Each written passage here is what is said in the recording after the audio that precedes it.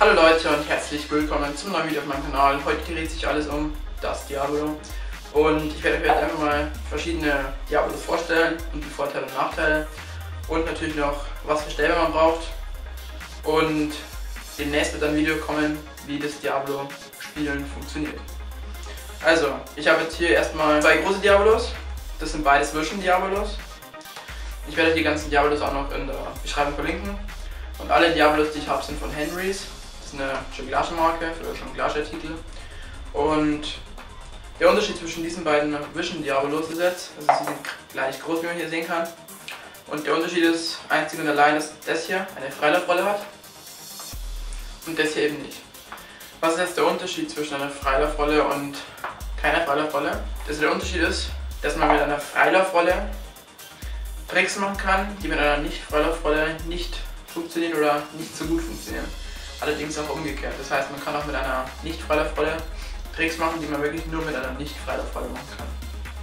Und bei einer Freilaufrolle ist es halt so, dass die, das Kugellager hier in der Mitte und die Teller voneinander unabhängig sind. Das heißt, man kann jetzt entweder die Teller drehen und das Kugellager in der Mitte bewegt sich nicht oder eben umgekehrt. Und bei dem bei der Nicht-Freilaufrolle bewegt sich immer beides. Und wenn man jetzt das Diablo auf dem Stab balancieren lässt, also so, so, also bei einer Freilaufrolle drehen sich dann nur noch die Teller und der Kugellager in der Mitte bleibt schön hier drauf.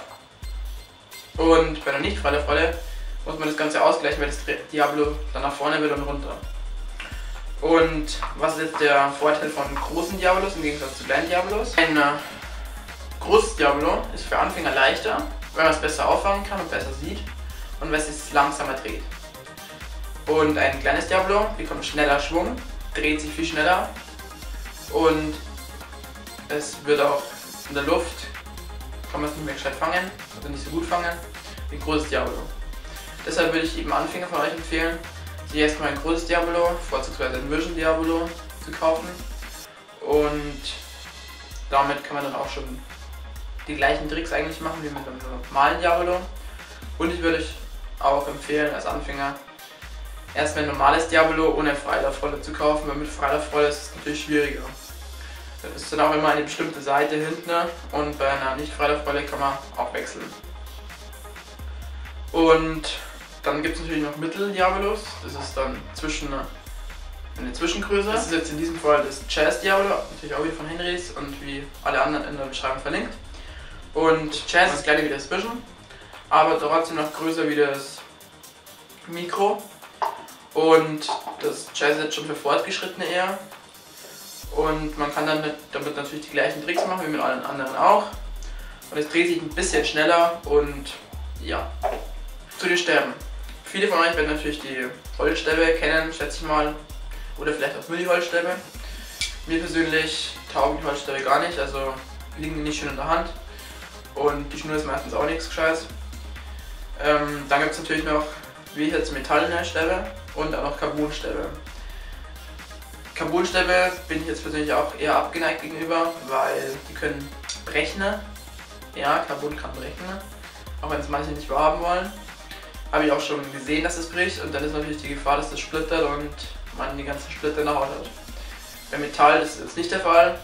Das kann nicht brechen, kann höchstens unter großem Kraftaufwand verbiegen, ne? was auch eigentlich nicht vorkommt. Und deswegen bevorzuge ich die Metallstäbe. Und bei der Schnur gibt es auch verschiedene natürlich. Da würde ich mir eine dünnere nehmen und auch eine von Henrys natürlich. Und da kann man dann auch hier noch einstellen bei den Stäben. Sehr schön einstellen hier. Und da ist auch wieder wichtig, dass man die Größe beobachtet beachtet. Das werde ich ja aber in einem nächsten Video noch genau erläutern, wie lang die Schnur sein muss. Und das war's auch von dem Video. Ich hoffe, ich habe euch mal ein paar kleine Einblicke geben können, was ihr für ein Diablo bräuchtet und was die Unterschiede sind. Wenn ihr noch Fragen habt, gerne damit in die Kommentare. Wie gesagt, die Links zu den ganzen Diabolos und dem Sterben sind in der Beschreibung. Und dann sehen wir uns hoffentlich am Mittwoch um 16 Uhr wieder. Bis dahin, ciao.